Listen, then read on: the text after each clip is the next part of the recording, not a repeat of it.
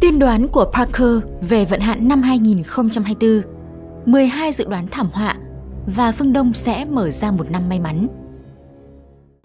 Nhà tiên tri vận hạn người Anh gần đây đã đưa ra dự đoán về năm 2024 và như mọi khi, ông đã nói về rất nhiều thảm họa, đặc biệt là trong số 12 dự đoán về thảm họa, có đến 3 dự đoán về Nhật Bản.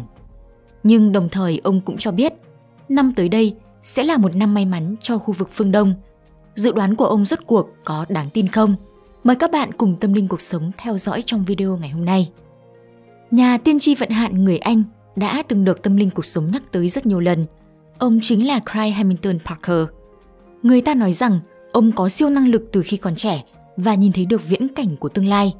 Hiện nay, Parker đã 68 tuổi và trong phần lớn cuộc đời mình, ông đã thuận lợi sử dụng siêu năng lực của bản thân để dự đoán tương lai. Trong những năm gần đây, Parker thường đưa ra một số dự đoán vào cuối mỗi năm về năm sắp tới. Và vì những lời tiên đoán của ông đều rất chính xác, nên đã thu hút được một lượng lớn người theo dõi. Đồng thời, vì phần lớn những lời tiên đoán được đưa ra đều là thảm họa, hỗn loạn và những điều tồi tệ, nên Parker còn được mệnh danh là nhà tiên tri vận hạn. Chẳng hạn vào năm 2016, truyền thông Mỹ và các cơ quan dự đoán trên khắp thế giới đều tin rằng Hillary Clinton sẽ đắc cử Tổng thống Mỹ. Nhưng Parker khẳng định Donald Trump sẽ thắng và mang đến cho thế giới một chấn động lớn. Kết quả chúng ta đều biết rằng Donald Trump đã đắc cử và thực hiện hàng loạt hành động như thành lập nhiều tổ chức quốc tế, thực hiện các chính sách chống toàn cầu hóa, xây dựng một Mexico hùng mạnh, vân vân. Một ví dụ khác là vào năm 2019, Parker đã dự đoán sẽ xảy ra một thảm họa thiên nhiên khó tưởng tượng ở Australia. Ông còn nói thảm họa sẽ kéo dài ít nhất một tháng và ảnh hưởng đến toàn thế giới. Ban đầu người ta khó có thể tưởng tượng rằng một thảm họa nào đó có thể kéo dài lâu như vậy. Nhưng trận cháy rừng ở Australia vào tháng 9 năm 2019 đã lan rộng với sức mạnh không thể ngăn cản. Thảm họa sinh thái do trận cháy rừng này gây ra đã đủ để ghi vào lịch sử trái đất. Lời tiên tri của Parker từ đó đã bắt đầu được mọi người coi trọng. Nhưng điều thực sự khiến ông được cả thế giới biết đến gần giống như lời tiên đoán của thần đồng Ấn Độ Adnan về dịch bệnh COVID-19. Lời tiên đoán này đã khiến độ nổi tiếng của Parker tăng cao, giúp ông trở thành một trong những nhà tiên tri nổi tiếng nhất thời hiện đại. Sau đó, hàng loạt dự đoán khác về sóng thần Nhật Bản, sự qua đời của nữ hoàng Anh và các sự kiện lớn khác cũng liên tục chính xác. Vậy vào thời điểm cuối năm nay, nhà tiên tri vận hạn đã đưa ra những dự đoán gì cho năm 2024? Đầu tiên, Parker một lần nữa đưa ra dự đoán về Donald Trump. Có vẻ ông rất quan tâm đến cựu Tổng thống Mỹ Donald Trump. Từ đầu, ông tin chắc rằng Trump sẽ đắc cử, thế nên trong cuộc bầu cử năm 2020, Parker nói rằng Donald Trump sẽ có cơ hội lội ngược dòng. Bởi vì có hai cơ hội làm Tổng thống, nên lần này ông lại một lần nữa đưa ra dự đoán rằng Donald Trump sẽ tranh cử Tổng thống vào tháng 11 năm 2024. Và với sự giúp đỡ của một phụ nữ da đen, trăm lần nữa đạt được thành công tương tự như lần trước. Việc Donald Trump đắc cử cũng sẽ mang đến những thay đổi to lớn cho thế giới. Chỉ là ông không thể nhìn rõ sự thay đổi này là tốt hay xấu. Đồng thời Parker còn khẳng định Donald Trump cũng sẽ gặp vấn đề về thể chất. Liên quan đến Tổng thống đương nhiệm Biden, Parker cho biết Tổng thống có thể sẽ gặp phải một sự cố bất ngờ và tàn khốc bởi vì ông ấy nhìn thấy một nhóm người cầm súng AK-47 chen vào bài phát biểu của Biden, bất chấp mọi sự ngăn cản còn về mục đích của nhóm người này là gì và điều gì tiếp theo sẽ xảy ra với Biden thì Parker không nói rõ. Danh tính của nhóm người này cũng không được Parker tiết lộ. Vậy ngoài cuộc chiến tranh giành chức Tổng thống Mỹ, Parker còn đưa ra những dự đoán nào khác? Nhà tiên tri vận hạn người Anh Hamilton Parker đã đưa ra 10 dự đoán cho năm 2024. Dự đoán thứ ba là chiều cao của người Nhật sẽ đột ngột giảm lại vào năm 2024 là 10 cm làm sao chiều cao của con người lại có thể co lại 10cm. Đây quả là một dự đoán vô cùng hoang đường, khiến nhiều người thắc mắc rút cuộc là vì sao mà dân số hơn 100 triệu người của Nhật Bản lại có thể đột nhiên thấp đi 10cm. Tuy nhiên Parker cho rằng nguyên nhân là do Nhật Bản xả nước thải hạt nhân ra biển, khiến vùng biển gần Nhật Bản đã bị ô nhiễm nghiêm trọng. Nhiều loài cá biển tích tụ lượng lớn chất độc và cá lại là thực phẩm chủ yếu ở Nhật Bản. Sau khi ăn phải những thực phẩm bị ô nhiễm này, cấu trúc cơ thể của người Nhật sẽ bị thay đổi, khiến chiều cao của họ giảm đi 10cm, gần giống như việc bị dị tật bởi nhiễm độc hạt nhân. Dự đoán trên không phải là điều duy nhất khiến Nhật Bản lo lắng, bởi dự đoán thứ tư của Parker còn tiết lộ một vụ nổ siêu lớn sẽ xảy ra tại căn cứ thí nghiệm dưới đáy biển của Nhật Bản, thậm chí còn gây ra sự chia cắt một hòn đảo. Nhà tiên tri trước đó đã nói rằng núi Phú Sĩ ở Nhật Bản có thể phun trào vào năm 2024 với sức mạnh cực kỳ khủng khiếp, khiến toàn Tokyo có thể bị nuốt chửng. Nhưng dự đoán thứ năm của Parker lại cho rằng núi Phú Sĩ sẽ tương đối ổn định vào năm 2024, nên người Nhật không phải lo lắng về nó. Lời tiên tri thứ 8 của Parker là Hoa Kỳ sẽ xảy ra một trận động đất lớn, vùng động đất kéo dài từ bờ biển phía Tây Hoa Kỳ đến thành phố Mexico thuộc thủ đô của Mexico. May mắn thay, trận động đất này không gây ra quá nhiều thương vong. Nhưng cùng lúc với trận động đất, cuộc khủng hoảng kinh tế cũng nổ ra, khiến nền kinh tế toàn cầu bị ảnh hưởng nặng nề. Bị ảnh hưởng bởi cuộc khủng hoảng kinh tế, tiền điện tử sẽ tiến hành những điều chỉnh đáng kể.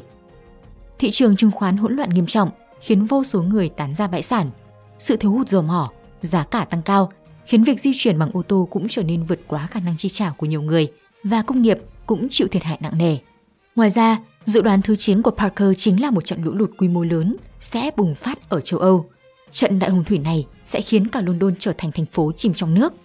Cùng lúc đó, ông cũng nhìn thấy một hòn đảo đang chìm dần và biến mất. Parker chỉ biết hòn đảo này nằm ở châu Âu, nhưng chính xác là đảo nào thì ông không thể thấy rõ. Một số cư dân mạng tỏ ra vô cùng quan tâm về trận lũ đụt đớn ở London và cho rằng đây có thể là sự sụp đổ của nước Anh. Với 9 dự đoán đầu tiên, đa số đều là những tin xấu. Xem ra Parker thực sự xứng danh với tên gọi nhà tiên tri vận hạn. Tất cả những lời tiên tri được đưa ra đều là thảm họa, nhưng trên thực tế, ngoài những thảm họa này, Parker còn nhìn thấy một tương lai mới. Trong 14 lời tiên tri mà Parker dự đoán sẽ xảy ra vào năm 2024, có đến 12 lời tiên tri liên quan đến thảm họa. Nhưng ông lại cho rằng phương Đông sẽ mở ra những hy vọng mới vào năm tới. Đây rõ ràng là một ngoại lệ kể từ khi Parker được mọi người biết đến. Hy vọng nhỏ bé nào đã được Parker tiết lộ cho mọi người trên thế giới. Parker, nhà tiên tri vận hạn, đã liên tục đưa ra những dự đoán về tương lai trong hơn 10 năm. Vậy nên, những lời dự đoán bị lãng quên là điều rất bình thường. Tuy nhiên, đối với năm 2024, ông lại bắt đầu đưa ra những lời tiên tri mà mình đã nhìn thấy được từ trước. Lời tiên tri thứ 10 của Parker đã đề cập, vào năm 2024, thế giới sẽ hình thành hai liên minh lớn là Đông và Tây. Đồng thời, trái đất sẽ bước vào một kỷ nguyên trật tự mới, được thiết lập bởi Liên minh phương Đông. Họ sẽ dẫn dắt thế giới đến hòa bình. Và nhân vật quan trọng nhất của Liên minh phương Đông là một chủng tộc mới. Parker không biết những con người mới này xuất hiện như thế nào, nhưng họ có sức hút không gì sánh được. Ông ấy đã cố gắng lý giải về những con người mới, nhưng rất mơ hồ. Chỉ biết rằng họ có liên quan đến người ngoài hành tinh. Và Parker cũng nói rằng vào năm 2035 họ sẽ trở thành anh hùng giải cứu thế giới. Nếu chúng ta đánh giá từ dự đoán trên thì chắc chắn sẽ có một sự kiện lớn xảy ra vào năm 2035. Lúc đó, nhân loại mới cần được giải cứu. Điều này cũng liên quan đến dự đoán thứ 11 của ông ấy. Đó là thế giới sẽ xảy ra một cuộc chiến tranh vũ trụ quy mô nhỏ vào năm 2024. Ông cũng không biết hai bên trong cuộc chiến tranh vũ trụ là ai, nhưng cuộc chiến này sẽ kéo dài trong nhiều năm. Đến năm 2030 sẽ phát triển thành chiến tranh vũ trụ quy mô lớn. Và có lẽ chính vì cuộc chiến này mà nhân loại đã rơi vào nguy cơ ngày tận thế, vậy nên mới có hình ảnh con người mới đến giải cứu thế giới. Parker còn nhìn thấy một khả năng khác, đó là mặt trời sẽ sớm bị phân hủy. Ông cho biết mình đã nhìn thấy mặt trời phân hủy khiến phương Tây chìm vào bóng tối Điều này không chỉ gây ra sự tan rã của xã hội mà còn gây ra nhiều cuộc chiến tranh. Nhưng điều kỳ lạ là một mặt trời mới lại xuất hiện ở phương Đông và tiếp tục thời đại phồn vinh. Có lẽ đây là công lao của những con người mới và việc họ giải cứu thế giới cũng có thể đồng nghĩa với việc giải cứu phương Tây ra khỏi bóng tối. Ngoài ra Parker còn nói trong tuyên bố thứ 12 của mình rằng một loại virus lạ sẽ xuất hiện vào năm 2024. Nhưng khác với những nhà tiên tri khác, Ông Parker không nói đến loại virus gây ảnh hưởng đến sức khỏe con người, mà là một loại virus mạng. Chúng sẽ tấn công tất cả cơ sở hạ tầng mạng và khiến mạng lưới trái đất bị tê liệt. Loại virus này dường như không phải là sản phẩm của trái đất, mà là nguồn gốc của chúng là ở Israel. Một số nhà phân tích cho rằng loại virus này có thể là công nghệ của kẻ xâm lược người ngoài hành tinh và Israel chính là gián điệp của người ngoài hành tinh trên trái đất. Những dự đoán của Parker về năm 2024 thực sự vượt quá sức tưởng tượng của chúng ta. Cho dù là những người ủng hộ trung thành nhất của ông cũng sẽ thấy những lời dự đoán này khó tin. Ngoài 12 dự đoán trên, Parker còn đưa ra tin tốt, đó là trong lĩnh vực y tế sẽ có bước đột phá lớn. Ông cho biết vào năm 2024, thông qua nghiên cứu trí tuệ nhân tạo, con người đã tìm ra cách đối phó với bệnh ung thư, đồng thời đạt được tiến bộ vượt bậc trong nghiên cứu bệnh Alzheimer. Hai tin tức mà ông đưa ra quả thực khiến toàn bộ người nghe cảm thấy rất phấn khởi. Bởi nếu lời tiên tri này thực sự có thể trở thành hiện thực, thì hàng chục triệu người trên thế giới sẽ được cứu sống. Đối với những dự đoán của Hamilton Parker mà chúng tôi mang đến từ đầu video, bạn hãy xem đó như một lời cảnh báo và đừng quá tin là thật.